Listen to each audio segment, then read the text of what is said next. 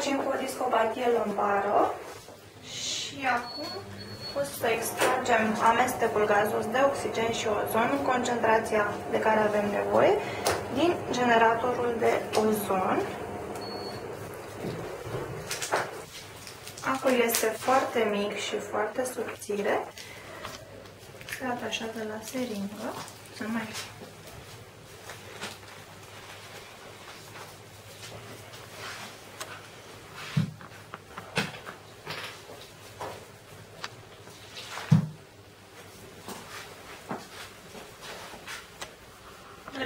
sunt în special în regiunea asta. Acolo, da. Infiltrațiile se fac subcutanat, paravertebral. După cum vedeți, pacientul nu a scos niciun sunet, deci nu doare efectiv înțelătura este cu foarte mic.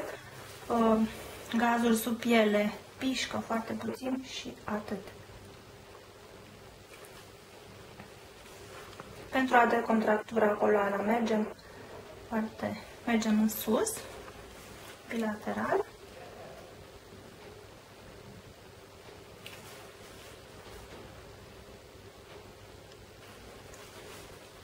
Și asta a fost tot.